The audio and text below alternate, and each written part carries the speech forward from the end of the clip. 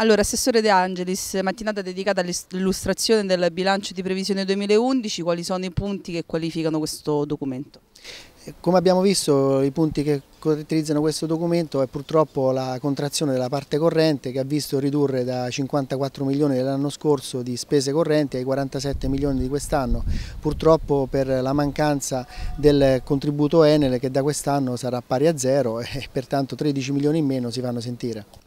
Senta, cosa, come avete cercato di far fronte appunto a questa situazione? Dov'è che siete intervenuti con i tagli?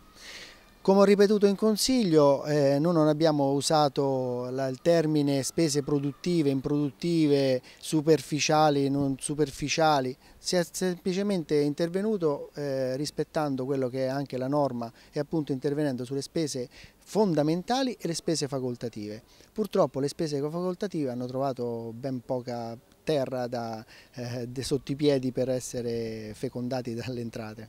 Senta, per i cittadini che cosa cambia in termini insomma, di servizi e anche di imposte? Ma di imposte non cambia assolutamente niente, la pressione fiscale come ho detto non è assolutamente eh, aumentata, ho dimostrato con quello che sono le entrate che questa pressione fiscale è aumentata essenzialmente, se pressione fiscale si può chiamare, essenzialmente per il recupero di evasione tributaria, ma lì ci è rimasta inalterata. E così tutte le altre imposte, l'addizionale regionale compresa.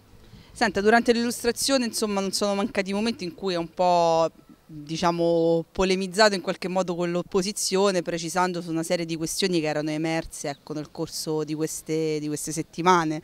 Si è levato qualche sassolino dalla scarpa come ha detto? Sì, mi sono levato qualche sassolino perché purtroppo eh, tutti sono abituati a rispondere immediatamente alle critiche il giorno dopo, mille trasmissioni autogestite. Io ho preferito stare silenzioso nel silenzio, aspettare questo momento per dare i chiarimenti, ma anche per non alimentare una polemica che a me personalmente non mi apparteneva e lascio ad altri quello di fare politica che è una cosa legittima, come ho detto anche il sale eh, per, questo, per il confronto.